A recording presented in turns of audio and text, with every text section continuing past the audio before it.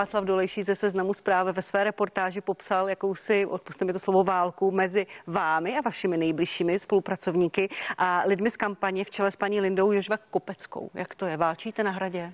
No, já jsem chystám, já jsem ho teda ještě od té doby nepotkala, ale opravdu se chystám na to a těším se na to, že se ho zeptám, jak si to představuje. Jestli si představuje, že ráno přijdem do práce a teď s Lindou se jako sedneme ke stolu a začneme se vyříkávat, kdo zrovna ten den bude mít největší vliv. Na, na to se chci zeptat, jak to teda funguje. To teda opravdu nefunguje. Na to není vůbec čas. My se, já myslím, že všichni, co tam jsme, tak si uvědomujeme ten cíl, který máme a ten je udělat jako dobré podmínky pro práci pana prezidenta.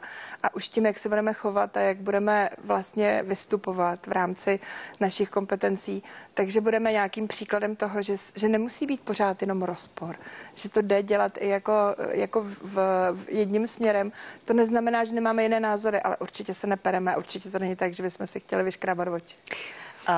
To o tom asi nepochybuje nikdo, ale na druhou stranu eh, vliv na pana prezidenta je nějaký, počet těch míst na hradě nějaký, opravdu jsou ty vztahy tak idylické, které mají jenom směřovat k tomu cíli? Já neříkám, že jsou idylické, já říkám, že si to sedá, ale určitě nejsou tak, tak rozbuškové, jak naznačoval ten článek. Tak jak byste je popsal? A já si teda hlavně myslím, že pan prezident je natolik výrazná osobnost, že to nemá zapotřebí, aby se nechal zmítat nejrůznějšíma vlivama. Tak mluvila 2. července hradní kancléřka Jana Vohralíková v partii Terezie Tománkové. Vztahy na hradě se, jak to tak vypadá, mezi tím proměnily. Nastalo hradní personální zemětřesení, kterého si všichni všimli. Jeho příčiny i možné důsledky rozeberu s komentátorem Mladé fronty dnes Petrem Kolářem. Vítám tě tady, Petře.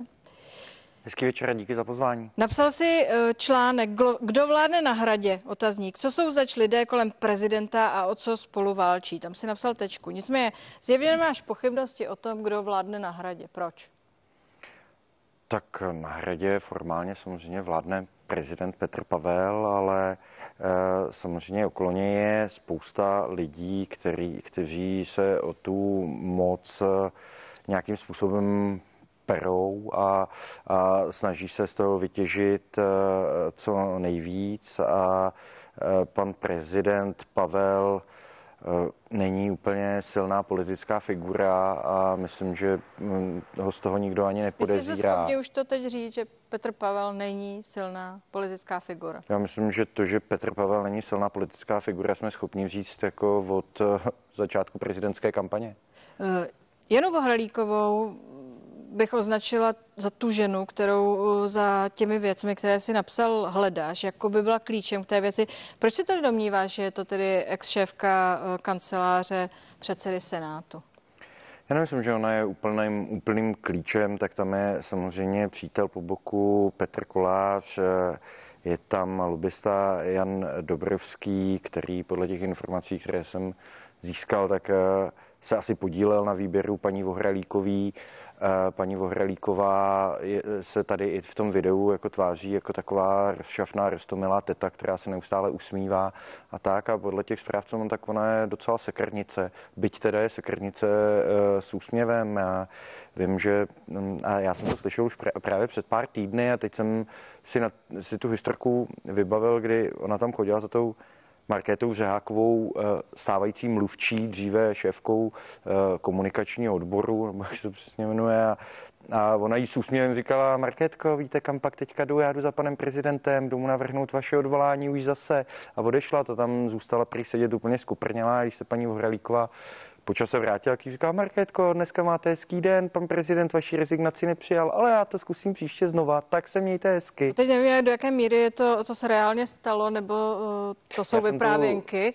Já jsem tu historiku takhle uh, slyšel, samozřejmě jsem se to snažil ověřit. Problém je, že dneska na tom tak hradě... Tak to asi těžko ověříš. Těžko ověřím jako naprosto přesné citace, což jsem do toho textu napsal, že takhle nějak se to odehrálo, ale bylo to s úsměvem a, a takovýhle způsob komunikace tam byl. Problém je, že o tom jako vlastně nikdo nechce moc mluvit, že na tom hradě je dneska jako fakt hustá atmosféra.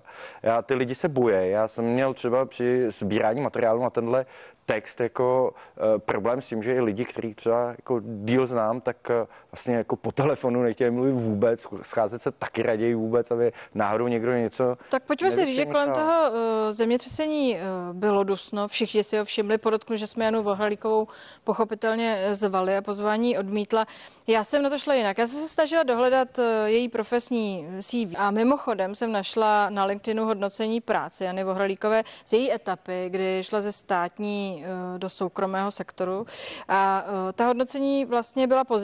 Tady jsem našla Miroslava Říháka, kterého mám eh, v síti, v tom čase ředitele společnosti Anekt, ten napsal profesionální, věcná, efektivní, taky hodnotil. Tedy já se zeptám jinak. Nechceme právě toto na straně státu? Někoho, koho takhle hodnotí i soukromý sektor? Není to popis toho, jak ona vystupuje mezi lidmi, kteří přišli možná s jistým nadšením a e, působili až aktivisticky? No já vůbec neříkám, že není schopná. Ona je bez pochyby jako velmi schopná, kdyby nebyla, asi není tam, kde je. A e, vždycky záleží na to, kdo to hodnocení dává, tak e, asi by se dalo zeptat na hodnocení šéfa Senátu, pana Vystrčila, kterého jsem se na to zeptal a ten už to radši ani nechtěl komentovat, ale ti lidé z jeho okolí jako jasně říkají, že kdyby paní Vohrelíková nešla na hra, tak on by jí chtěl z toho Senátu dostat pryč. Ty jsi psal, uh, že měla jasný plán vystranit lidi, kteří dělali pro Petra, Petra Pavla celé roky kampaň. Proč? No, Proč tak, myslíš, že uh, tam byli ti to navíc? Nebo zdáli se někomu, že jsou tam navíc? No tak za prvé je částečně pravda, že někteří z nich byli víceméně takový aktivističtí a ne třeba až tak profesionální, to stejně viděl třeba každý, kdo sledoval ten projev eh, Markéty Vřehákové po vyhlášení prezident, eh, výsledků prezidentské volby, kdy ona se tam tak jako chychotala a teď jako nesouvisle mluvila. Druhá věc samozřejmě byla, že eh, ti lidé měli důvěru toho prezidenta a, a mají částečně dos, dosud, když byla ta paní Řeháková odvolána se, jako šéfka toho odboru komunikačního, tak ona podle mých informací donesla prezidentovi eh, rezignaci i na post mluvčí a on jí eh, přesvědčoval, ať to nedělá a ona to neudělala. Eh, on nemá asi lidsky rád, oni s ním prošli od roku 2019, od eh, toho vlastně eh, té iniciativy pro bezpečnou bezpečnost, která později pak byla spolu jsme silnější. On s nima něco prožil a myslím si, že jako lidsky je má rád a a... No ale zároveň, a možná se narazilo na jejich limity. Jak si řekl, eh, aktivisti versus profesionálové. No, a nebo... Přišla tedy paní Vohralíková se zkušeností buď, profesionála buď na limity, řekla, musíme buď, to vést jinak? Buď na limity, a nebo také na to, že oni nechtěli dělat některé věci, které ta, dejme tomu, druhá parta eh, dělat chtěla. Dobrá, to, znamená... to je která parta? No tak eh, to je... Psal si o Petru Kolářovi. Teď jsme se o tom bavili. Psal si o Janu Dobrovském. Petr Kolář, eh, tím, tím naznačuje, že Petr Pavel je vlastně jakoby něčí nástroj. Myslíš, že to tak je? Nevím, jestli je něčí nástroj, nicméně e, tito lidé tam mají vliv, paní Vohralíková má vliv, má, má vliv a e, je na tom hradě, stejně jako tam dochází Petr Kolář a e, asi si umí leco prosadit, tak asi není náhoda, že teď při cestě e, do Spojených států prezident navštíví jedinou soukromou firmu, alespoň tak to psal deník N a doufám, že nikdo nespochybňuje informace deníku N v tomto smyslu. A tou firmou je, e, je Colt, což což je firma, eh, jejíž eh, koupy českou zbrojovkou zprostředkovával eh, právě Petr Kolář. A mimochodem, když si vzpomeneme na návštěvu Bílého domu, kterou tehdy podnikl Andrej Babiš, tak on tam Donaldu Trumpovi, tehdejšímu prezidentovi, vezl pozlacenou eh, z pistoli eh, ze série Republika, byl to unikátní kousek, jako opravdu, a eh, tam jí předal v Bílém domě Donaldu Trumpovi od české zbrojovky a to tehdy v tom se dost angažoval Petr Kolář. Vím. To znamená, máš pocit, že to je zatím, i když vypadá no ne, to, že to tak, tak vypadá tak jednoduše, až průhledně Petr Kolář je hloupý člověk. Aby a taky, tak, jedou, tak jedou do té firmy, vedl. tak jedou do té firmy a Petr Kolář tam ovšem nejede jako uh, lobbysta nebo dejme tomu člověk, který ještě neustále stále eh, figuruje eh, tam v nějakém etickém bordu etickém, což je jako obzvlášť komické, ale on tam jde jako eh, člen delegace českého prezidenta.